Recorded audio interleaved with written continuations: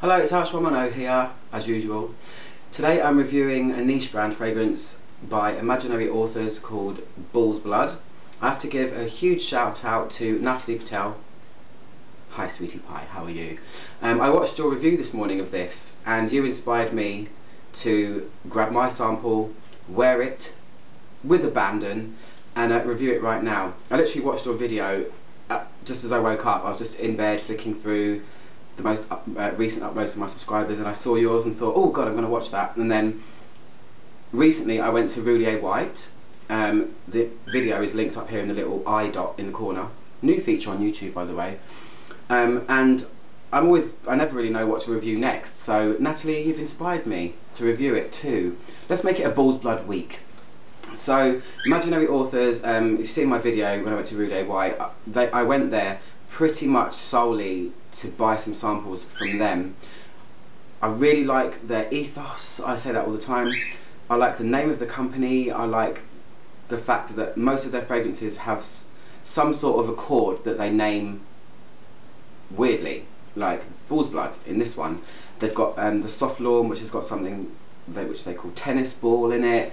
They've got the Cobra and Canary, which I can't remember what's in that one, but anyway, very interesting brand. I like the way it looks and everything. So I went and bought four samples um, of their fragrances and haven't really smelled any of them. So today was a full-on Bull's Blood day. I just thought I'm going to wear it. I'm going to see what it's all about. Natalie's review really piqued my interest. So this is it. Um, the nose behind the fragrance is Josh Meyer. He makes all of their fragrances. I'd like to meet him. He's obviously a very cool dude um, with a really strong vision, and I really appreciate that. Uh, when I went to Roullier White, they give you these little, they're like bookmarks.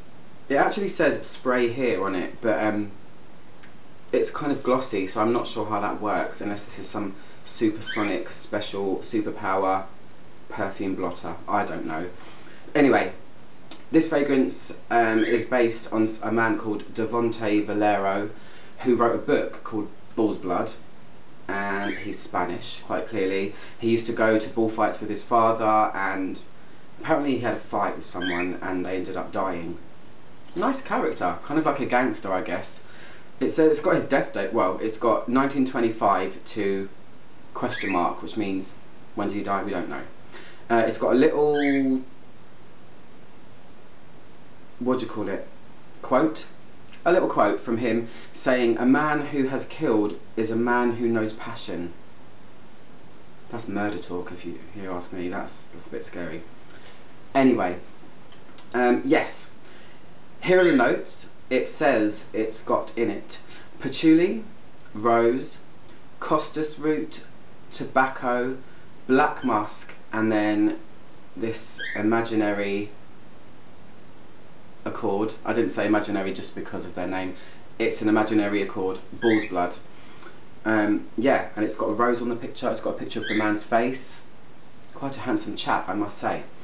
So, um, after watching Natalie's review, by the way, I'm going to link her channel down here right now. Go and check her out if you haven't already. I've mentioned her a few times before. Her videos have a very calming effect. She's very softly spoken and um, she knows her stuff too. You're getting really good at describing fragrances and I, I love it. Well done, Natalie. So, yeah, I've been wearing this all day. I sprayed on eight sprays of it. Let me just go and shut the bird up for one second. The oven's been on for a while, so he's due, just about due to go in. One sec. Ooh, cockatiels are quite bony. Don't ever try one. So those are the notes. Um, yeah, I sprayed this on this morning when I left to go and see my friend at about 11 o'clock. Seven full-on sprays. I put one on the back of my hand so I could keep track of it. And um, yeah it, it's quite unusual. What I'd say that what it smells Sorry, like is, is massive change of scenery there. Um, a mariachi band just entered my living room. Not true. The bed was getting on my nerves. So what does this fragrance smell like? I've got a lot of things to say about this. I've had quite a few different feelings about it as the the wear length has gone on if that makes sense you know the more I've wore it through the day, I've just noticed different things about it. So I'm going to spray it wet onto this hand again. This is like a big old burst of stuff.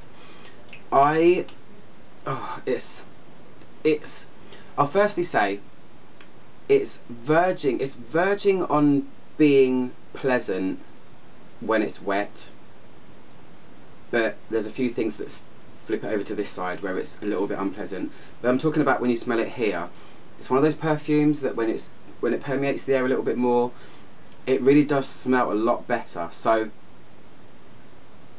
the opening of this oh my god it's it's um let me just gather my words. A few times I've sprayed this wet on my hand. I've been wearing it on my neck fully wearing it but on my hand I've sprayed it over and over just to get a feel for it. And the wet stages of it I've picked out in my head burnt latex there's a very weird plasticky rubbery fiery burntness that comes out of it um, patchouli really does run the show in this fragrance when it's uh, very wet to drying the dry stage is different the dry stage is my favourite part but we'll get onto that in a minute um, it's the patchouli really runs the show and the patchouli in this is really funky. There's different types of patchouli. Sometimes they're peppery, sometimes they're kind of earthy, grassy. Um, and if you're a fan of Angel by Thierry Mugler, a lot of people say that the patchouli in that smells like BO, and it's a little bit funky and weird. And the patchouli in this is exactly that. It's got a nice crisp rosiness to it, but the patchouli, it, it's very weighty. It's not a very light fragrance at all if I had to give it a kind of a feeling, it kind of feels dusky. It's like dusky to smooth. You know, some fragrances can be completely smooth smelling or very well rounded or spiky or sharp. This fragrance is very dusky in texture. If you could put a smell into a texture, that's what it's like. It's got civet in it this bull's blood accord, whatever it is that Josh Meyer has made, it's got civet in it, and that's what's giving it this animalic kind of tone underneath. The core of it is this weird, funky patchouli, but there's a very weird animalic tone to it that's that makes sense because it's called bull's blood, and it's that's the theme, isn't it? So. I would say it veers more to the masculine side than the feminine if anything. And this is going to sound weird too, but doing my perfume studies, I've had to do a lot of research into aromatic compounds and going much deeper into single notes.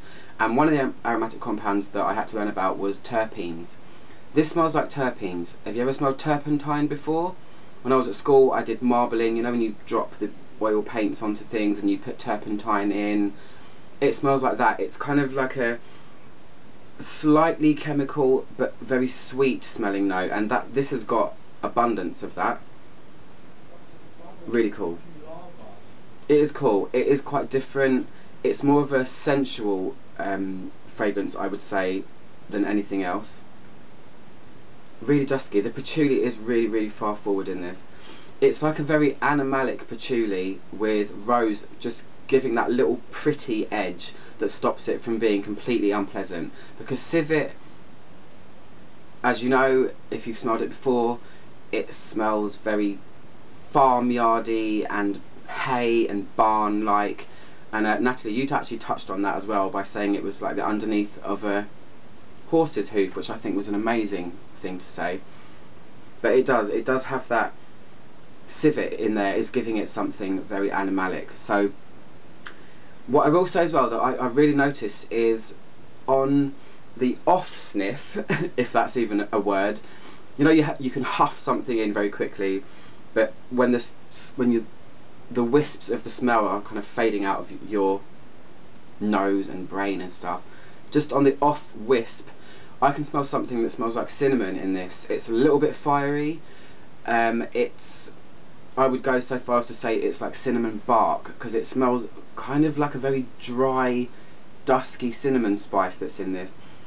I get that quite a lot. It's like those fireball sweets, those gobstopper things that smell like that fiery cinnamon. This that's like an underlying note in this, and it's it's kind of cool. Up close, off-putting. I must say, uh, it's not. Like I said, it's just verging on being pleasant but in the air it's different it's a lot softer in the air it's a lot more well rounded it's like a very sensual rose patchouli with just a bit more depth because of the animalic notes in it and I really like that. Um, tobacco is a big factor as well. It's got that kind of slightly planty kind of feel. Um, but what I want to talk about most is that's the main main wear of it. I mean, I've I've worn it all day and it does stay with me. It, I've smelt this. I got on the, the London Underground earlier on, and I could still smell myself when the tube doors opened, and you get a waft of yourself. It becomes really, really nice on dry down. I would buy it for the dry down alone, um, but I'm not willing to pay the money for it just yet. The dry down, I feel like there's sandalwood hidden in here somewhere. It becomes a lot more sensual, and patchouli, while very deep and earthy and sometimes sexy, I don't think it's sensual. I think there's sandalwood in here. The dry down of this I've had this I had it on my hand earlier the dry down of it is really good it's Sandalwood, while being very soft and powdery, sometimes throws up little sparks of something incensey, and I get that from this when it's very, very dry. Very dry. I'm talking about four or five hours after wearing it, and that really impressed me. I really liked it about the fragrance. I've not got much more to say about it. I just, I've gone back and forth with it, definitely. I don't think it's that scary. Civet is a scary note anyway, but in this it seems like it's done in just the right amount. And you have to be a patchouli lover to like this, and a funky patchouli lover, not a crisp, clean patchouli. A real kind of gritty, earthy, verging on bio kind of patchouli. So that's my review of Bull's Blood by Imaginary Authors. I've got a few other ones to do by them, and I'm really excited now because I've had my first little foray, the word I like to use, into their fragrances. So click up there to see, well you would have seen it, the Roullier White Chip that I did because I went and smelled lots of their fragrances. Uh, and click my logo to subscribe. See you guys soon. Thank you very much. Bye bye.